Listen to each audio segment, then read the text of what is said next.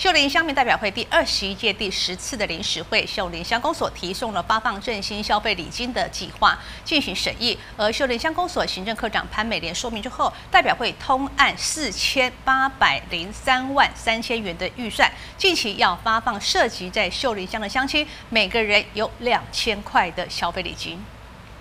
花莲县秀林乡民代表会第二十一届第十次临时大会提议，秀林乡公所由行政科长潘美莲亲自报告。花莲县秀林乡因因严重特殊传染性肺炎疫情影响，发放振兴消费礼金发放计划一案，向秀林乡民代表会代表们进行说明发放的办法，以及追加经费约莫四千八百零三万三千元整，纳入一百零九年度总预算第二次追加总预算。工商管理业务费向下办理，而这项提案人是由修林乡民代表会蔡北火提案，先是向修林民代表会主席赖俊杰和代表会同仁们进行沟通之后，在七月份的临时会上进行提案，由修林乡公所进行研拟办法。由于发放消费礼金有中央和别的县市的案例进行参考，而这次修林乡公则是参照中央所实施的三倍券的方式。希望能够和中央同步，所以才演绎两千元的金额来发放修林乡亲。